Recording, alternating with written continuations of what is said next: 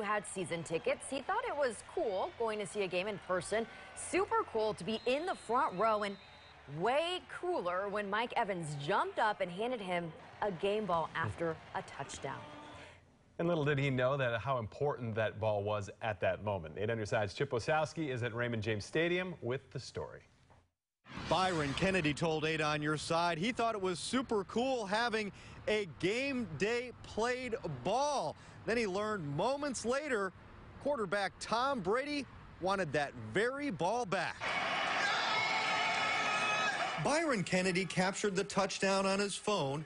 Eight on your side photojournalist Bob Hansen captured the moment from the field as Mike Evans tosses Kennedy the game ball. It was a moment he will never forget. Wanted to get a video of them scoring coming straight at us.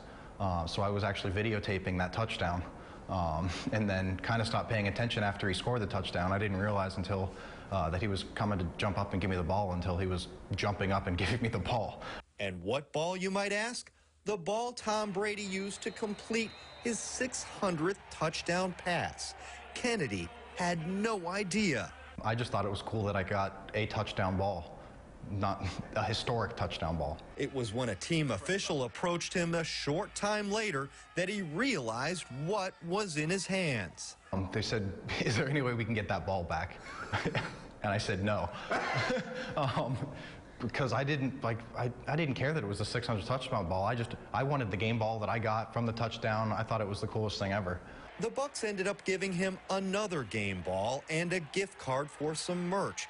But he's hoping the franchise sweetens the deal, perhaps a round of golf with the GOAT. That would be really cool. Uh, I remember watching Tom and Tiger play in the Celebrity Pro-Am together, uh, and that looked like a blast. So how much was that ball worth? There's speculation that it could have been worth upwards of a half million dollars. We talked to a sports memorabilia expert, and I'll have that story coming up on News Channel 8 at 6.